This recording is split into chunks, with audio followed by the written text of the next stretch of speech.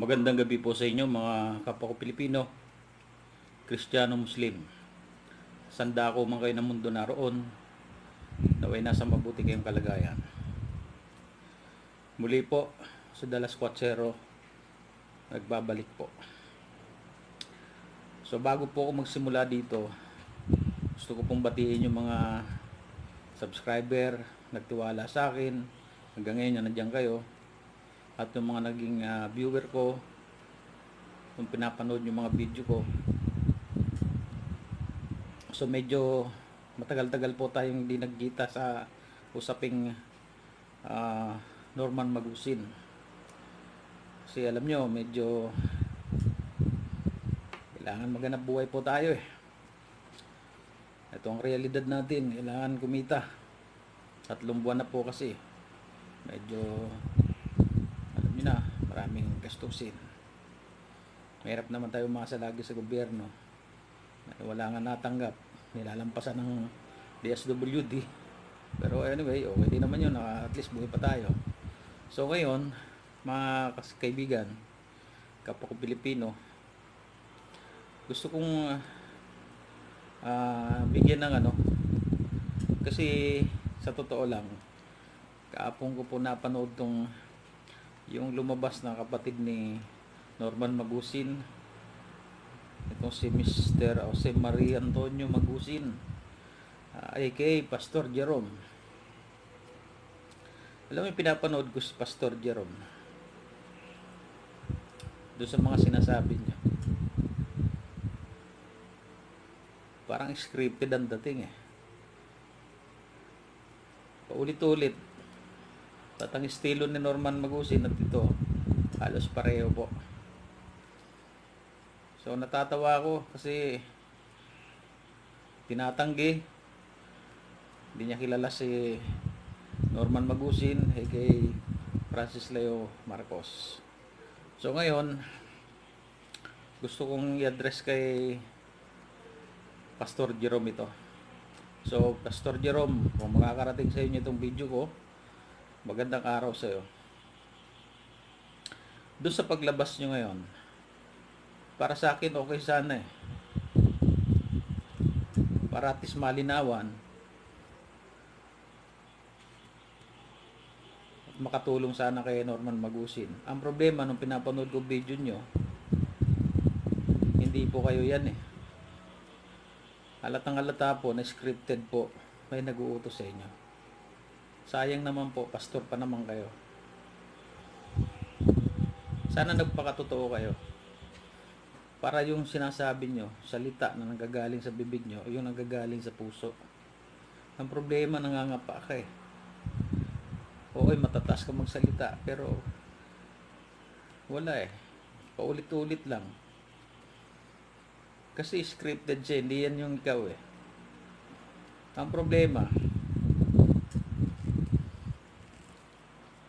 So, umpisa lang kita ko, may ginamit ka pang props. Kailangan mo pang isuot yung damit. Doon sa picture, doon sa katabi mo yung tatay at nanay mo. Ano yung gusto mong ipakita doon? Ipamukha mo sa mga tao.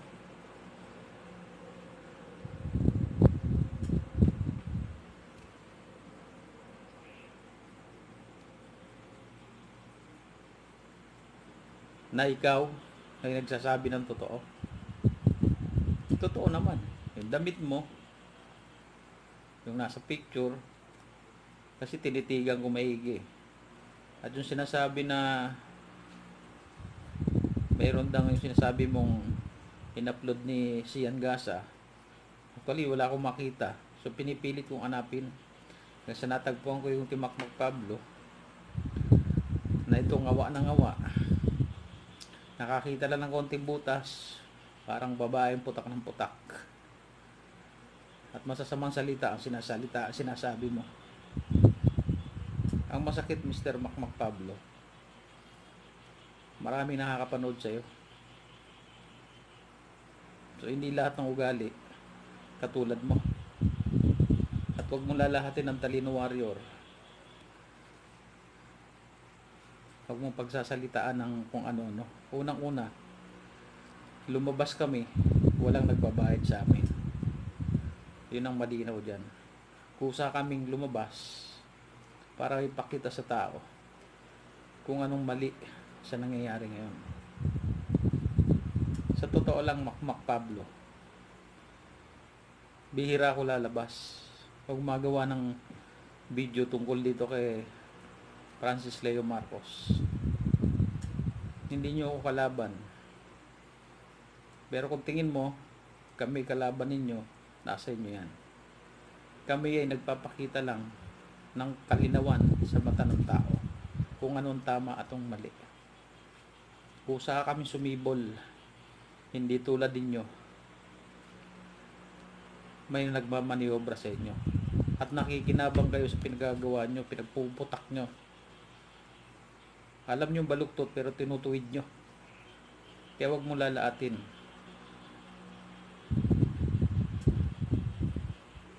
Pare-pareho tayong may kung may sungay ka, may sungay din ako.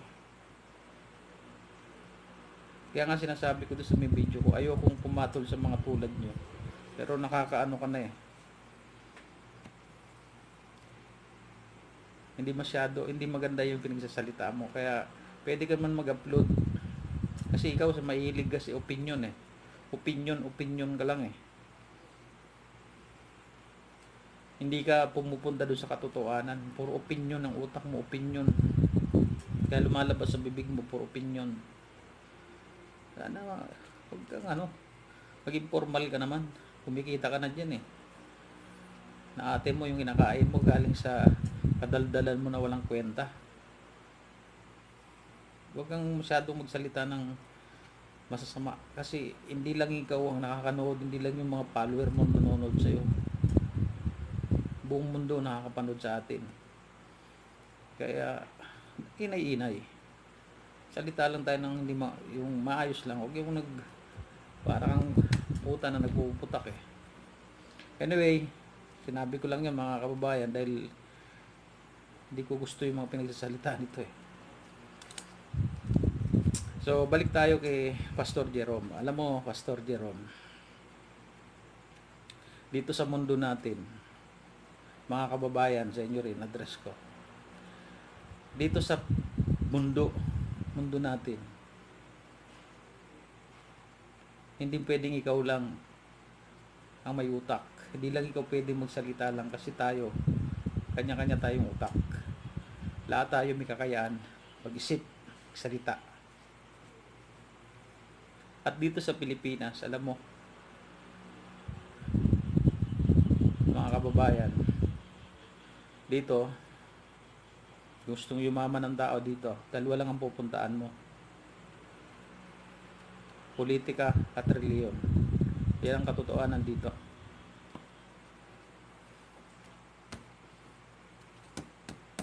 Gusto mo yumaman, tumakbo ka. Namumunan ka lang malaki. Kasi yan ang kalakaran dito eh. At pag naupo na, sigurado na, sureball na ang buhay. Kaya marami nagpapatayan dito eh.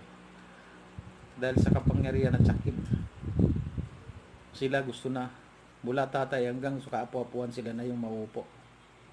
Ganun ang kalakaran dito. Kung ayaw mo naman sa politiko, politika, aral ka ng Biblia. Actually, pinag-aaralan na po yan. Course na rin yan eh. Kaya kita nyo, dami lumalabas. Ayoko sana magsalita ng tungkol dito. Pero ito, in ito po ang realidad dito. Pansinin natin ang paligid. Napakaraming sekta lumalabas. Hindi ko po nilalaat. Pero marami lamang nagtatayo dahil sa pera. Tulad mo, pastor. Sa pagpapanood ko ng video mo, lumalabas yung kulay mo. Sayang, limang taon ka na dyan. Tapos paglabas mo ngayon, akala mo makakatulong ka. Ginugulo mo lang ang buhay ng kapatid mo. Oo, totoo sinasabi mo. Hindi mo kapatid si Francis, Leo Marcos. Totoo naman eh. Dahil alias yan, walang totoong Mar- Francis Leo Marcos. Alias lang yan. Parang ikaw, pangalan mo Jose Maria Antonio Mangusin. Tapos, Pastor Jerome ka. Bakit? Kinaiya mo ba yung pangalan mo? Para iba gamitin mo?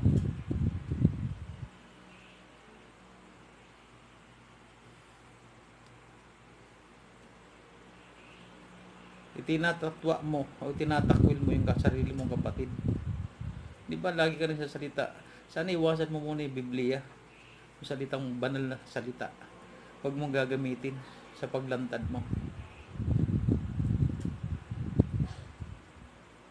Mapapasama ka dyan kung totoo nga na pastor ka. Totoong malinis ang kalooban mo. Pero nadulas ka eh. Sa bibig mo rin galing eh. Na ginagawa mong anak buhay yan.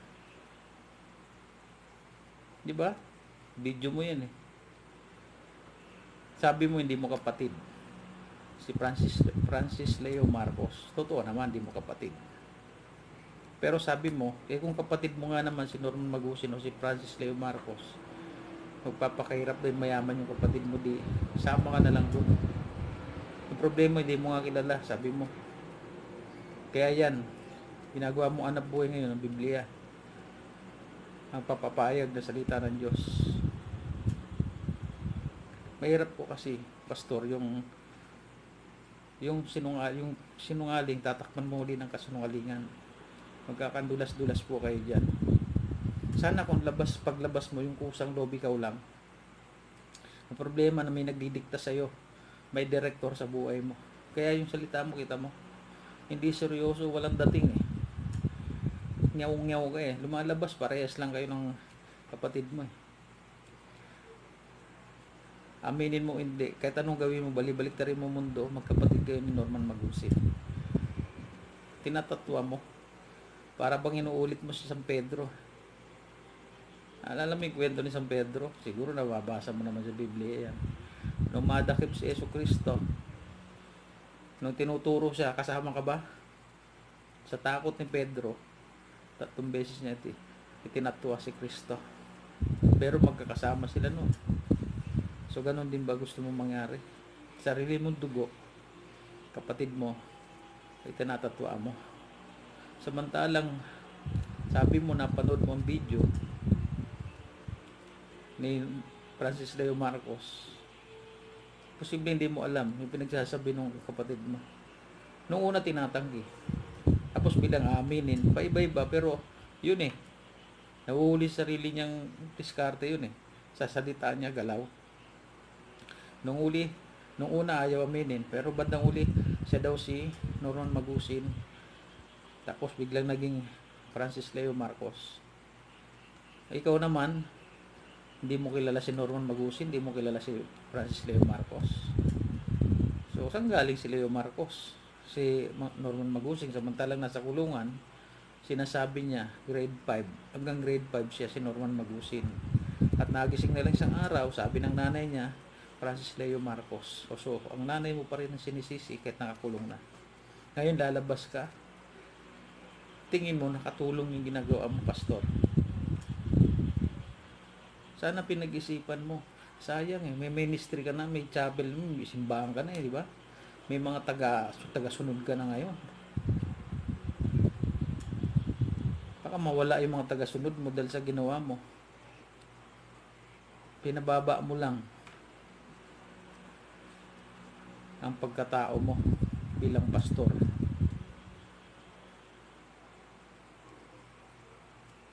Okay lang sana paglabas mo kung ginawa mo yung tama.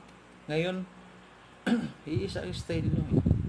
Lumabas ka, nagsisigaw ka kasi alam mo merong nag may nag-uutos sa iyo at inaasahan mo yung mga follower ng kapatid mo kakampi sa iyo at itong mga vlogger ng kapatid mo kamping kapi sa iyo ngayon. Dahil sila yung nag-uutos niyan eh. Hindi mo lumabas ka gamit mo yung damit mo. Hindi ikaw yan eh. Hindi ikaw nakaisip niyan. Sayang pastor ka sana panindigan mo bilang pastor. Sabihin mo yung totoo kasi bawal, 'di ba? Kayo nagtuturo ng magandang asal sa tao. Tagabalita ng banal na salita. Ngayon, magsisinungaling ka para mapagtakpan mo yung kapatid mo. Sa totoo lang, pastor, ang inaasahan ko dito lalabas nanay mo eh, o tatay mo. Eh, ikaw yung lumabas. Baka pagkatapos nito, susunod nanay mo. So, huwag naman sanang ganon. Kasi ang tingin na sa inyo manggusin, sinungaling eh.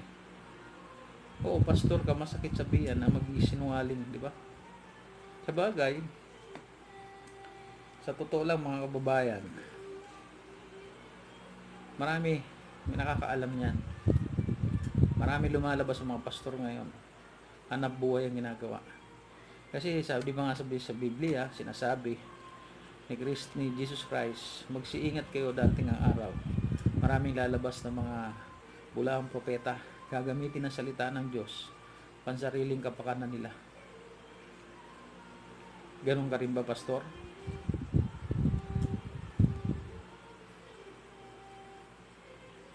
Kaya nakakalungkot alam nyo mga kaibigan. Dito sa bayan sa Pilipinas, napakaraming sekta. Dahil yan 10% ng ikapo.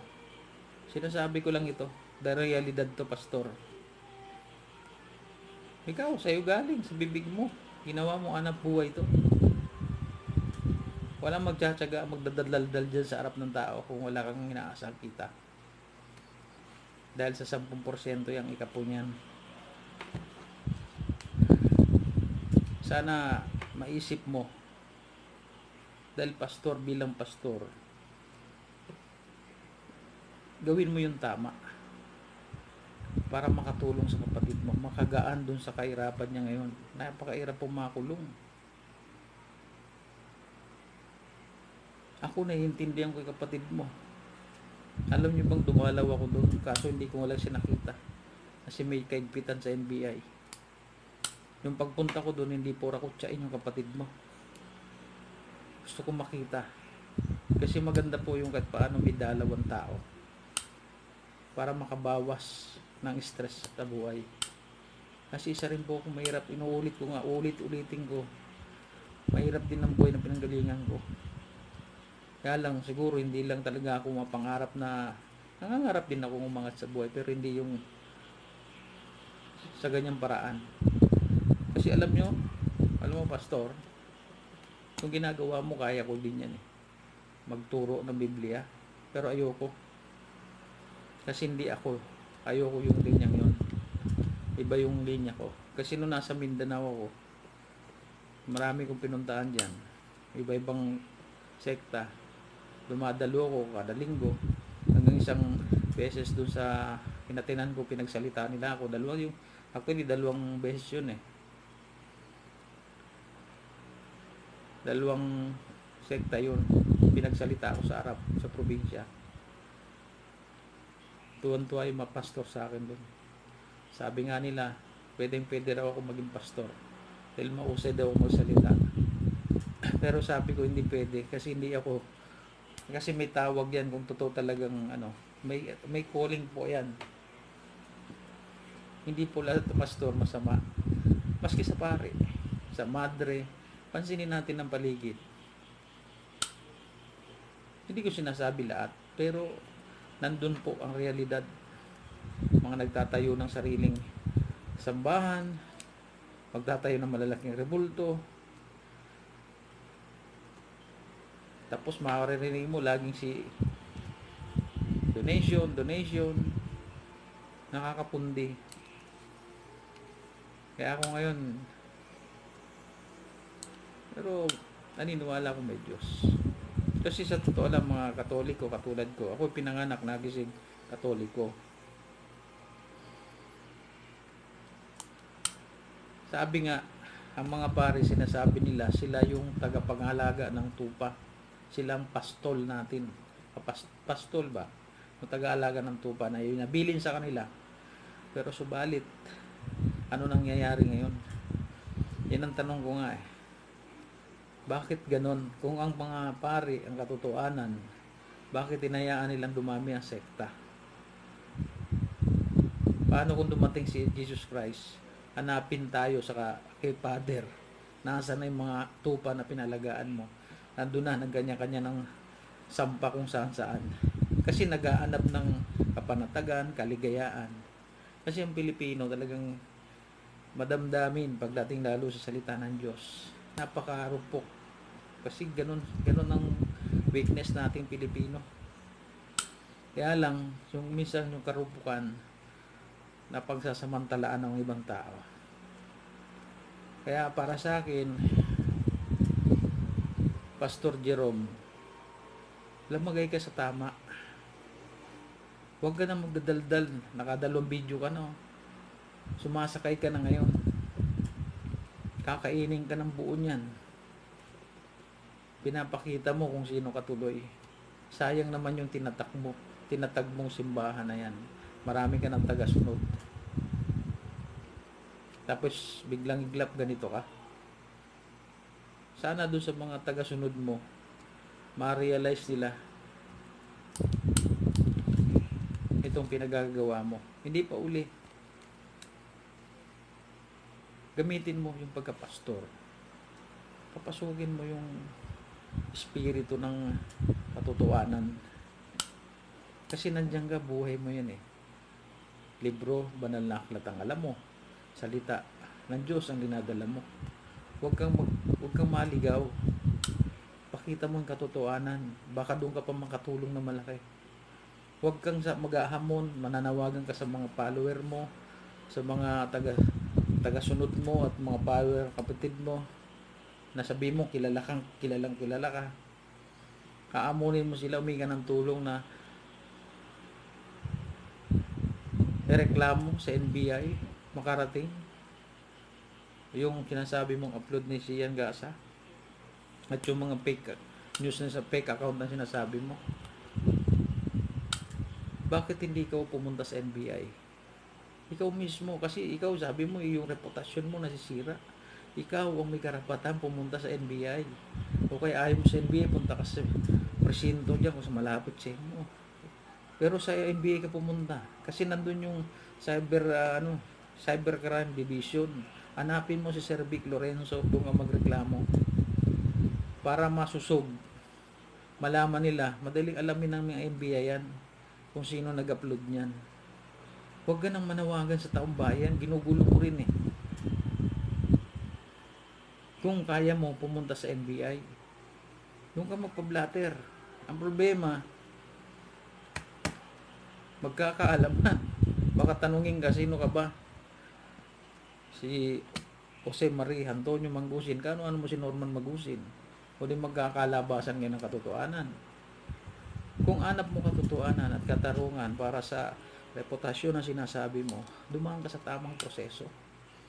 Punta ka sa NBI, doon ka magreklamo, wag sa video, wag sa social media. Walang magagawa kami sa iyo. Uusgahan ka palalo dito. Lalong bababa ang reputasyon mo kung may reputasyon ka nga. Kasi pinag-compare ko po yung salita mo, yung galaw nyo, at nung ni Norman Magusin. Hindi mo matatangging kapatid mo siya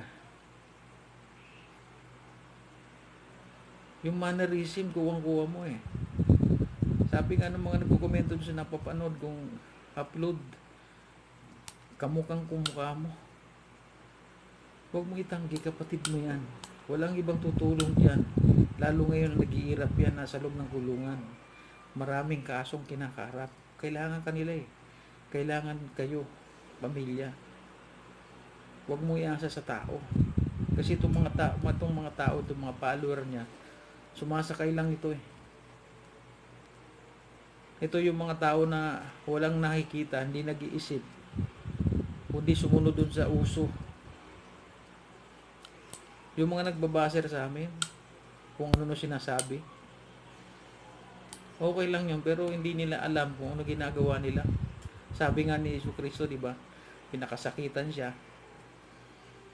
Pinako sa krus. Di ba bago siya namatay, bago nalag, nalagutan ng ininga, anong dasal niya? Ama, patawarin niyo sila. Hindi nila alam ang ginagawa nila. Ganon tayo kamahal ng Diyos. Nang Ama sa langit. At ito, bibitawan ko salita sa inyo mga kababayan, kapwa ko Pilipino, mga Kristiyano. Okay lang sa mga Muslim, sa kapatid nating Muslim kasi saludo talaga ako dun. Grabe ang pit nila. Kahit iba-iba yung lahi nila, pero Muslim pa rin sila. May Maranao, Tausog, iba-iba sila, pero iisa lang ang kinikilala nila. Kinakilala nilang dakilang Ama sa langit. Si Hala.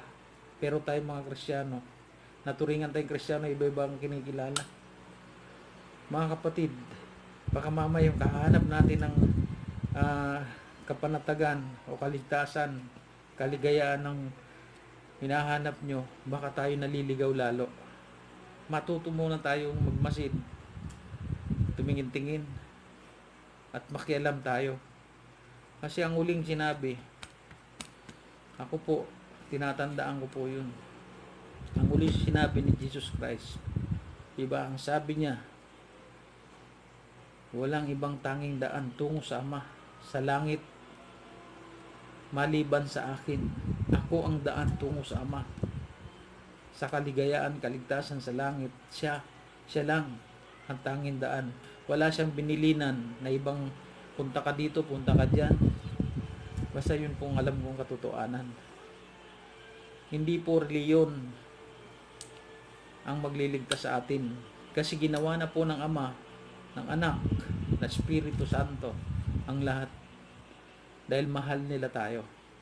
Di ba naalala nyo lumantipan? Pagunaw, pagunaw. Kasi mas naging masama yung mga tao nung araw eh. Nagsamula kay Eva, dumami ng dumami ang tao. Hanggang naging sakim, map- mapangapi, mapagkamkam, at marami ng mga Diyos-Diyosan. Kasi wala, hindi nila nakikita yung Diyos eh. Maliban na lang kina Noah, kina Moises na narinig nila.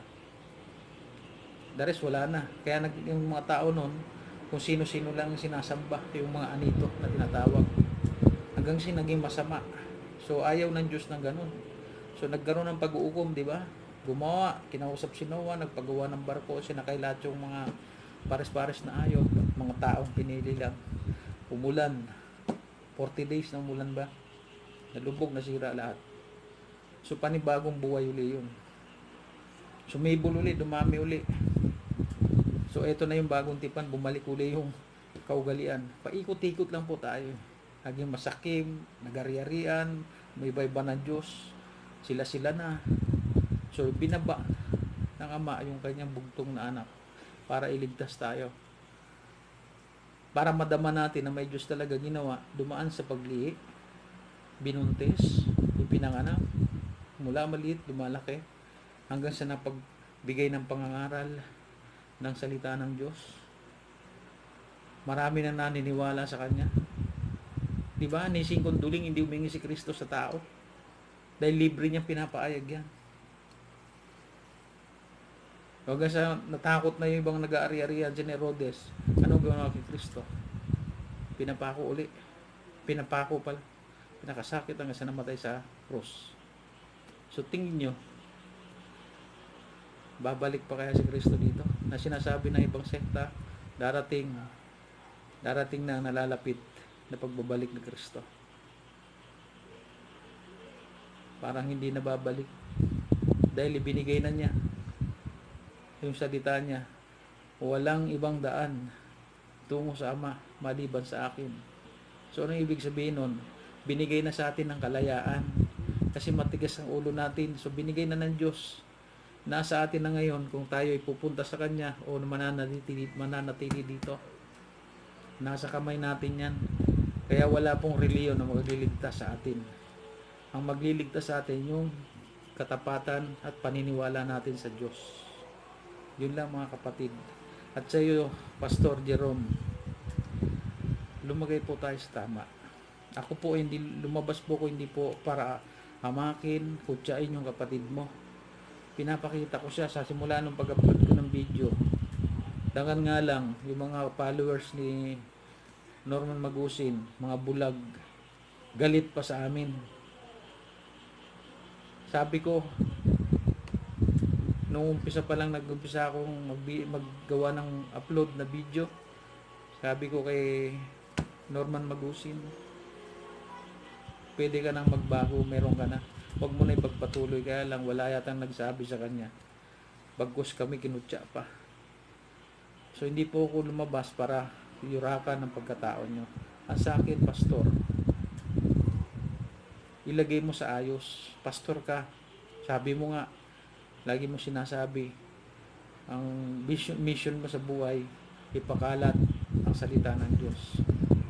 Sa puso mo, maging tapat ka sa sarili mo. Matakot ka sa daladala mo. Ilabas mo ang katotohanan. Sabi natin, ikaw yung nasa picture. Tama, ikaw ang nasa picture. Pero yung sistema mo, hindi makakatulong yan. Dinedepensaan mo eh.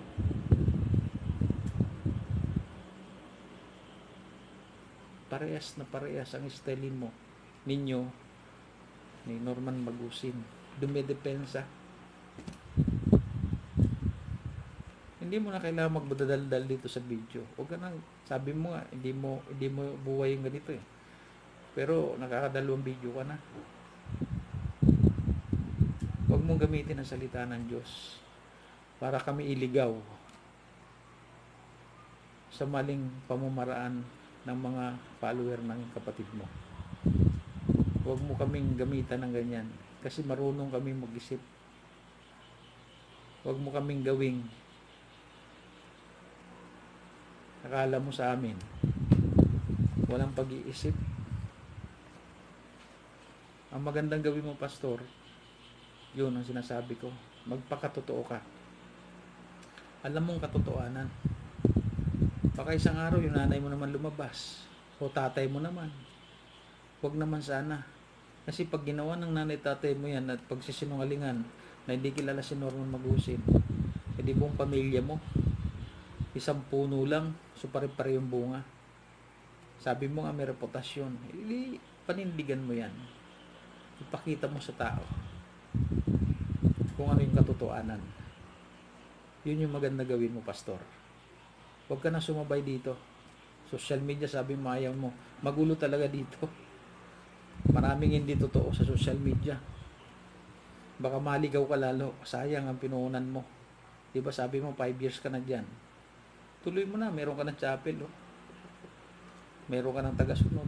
Baka mawala yan. Dahil marurunong din yan. So yung akin, doon tayo sa totoo, pastor. Mas makakatulong sa kapatid mo yan. Yun lang mga kababayan. So magandang gabi po sa inyo. Naway nakatulong ako ng konti sa sinasabi ko. Nandito po ako mga kalas kalaskotsero ko. Hindi naman po ako nawawala. Medyo kailangan lang kumita dahil pamilyado tayo. So, nandito pa rin ako. Salamat sa suporta nyo. At nandyan pa rin kayo. So, may naggagawa din ako mga ibang video na alam ko makakatulong sa mga, lalo ngayon sa usaping itong virus talagang kalaban dito. So pagdasal natin na to na sana malinawan ng Pangulong Duterte.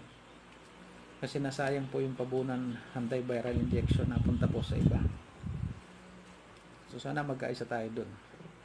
So gusto ko sanang i-share sa inyo yung picture na yung video nung kay Pastor Jerome at kay Norman Magusin. Kung may sisingit ko po, ilalagay ko po at sana panoorin nyo. So kayo na po mangumusga doon ang para sa akin ito po yung uh, binibigyan ko ng uh, advice din si pastor na huwag kayo ma maligaw huwag nyo kami iligaw sa katotohanan ang mali ay mali. Di ba huwag nyo ibaluktot yung yung tama. At yung tama binabaluktot nyo. Doon tayo sa sa totoong buhay. At dos, yun lang po. So magandang uh, araw po sa inyo. Sa mga subscriber ko ingat po tayo. Muli ito po si Dilas Cochero.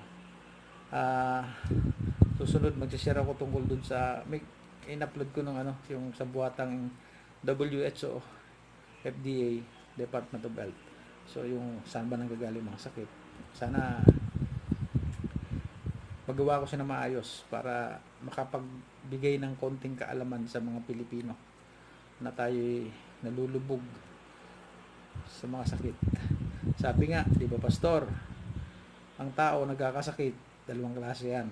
Spiritual at yung ah, physical na kanyuan. So, magandang umaga po, gabi po sa inyo. God bless po sa inyo.